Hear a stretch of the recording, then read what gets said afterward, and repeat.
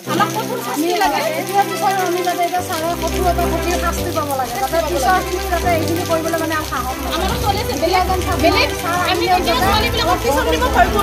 যদি আমি ইমান ডাঙৰ আমাৰ ছোৱালীক যদি টিউচন দিওঁতে এনেকুৱাকৈ যদি আমি আমাৰ মানে বুকুখন কঁপি আছে কালিৰ পৰা আমি ক'ব পৰা নাই আমি কেনেকৈ ছোৱালীক বাহিৰত টিউচন দিব পাৰোঁ এটা যদি প্ৰধান শিক্ষক মহোদয় হৈ কেনে যদি এনেকুৱা দূষিত কাম কৰিব পাৰে আমাৰ ছোৱালীজনী মাহবাৰী প্ৰাথমিক বিদ্যালয়ত স্কুললৈ যায় আৰু স্কুলতো ছাৰে হেড ছাৰে কিবা কিবি মানে বেয়া কথা কয় মোবাইলত বেয়া ভিডিঅ' দেখায় আৰু সেই বেয়া কৰ্মও কৰে।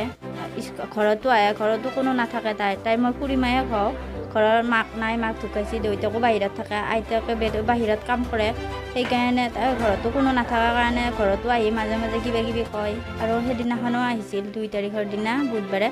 আহি কেনে তাইক কৈছে আৰু অ' দুইশ টকা পইচা দিছে দি কেনে ঘৰৰ ভিতৰত মাতি আনিছে আনি কিবা বেয়া কাম বেয়া কৰ্ম কৰিছে আৰু কিবা কিবি গতিকে আমাৰ ছোৱালীজনীয়ে ন্যায় পাব লাগে সেইটোৱে আমি বিচাৰোঁ।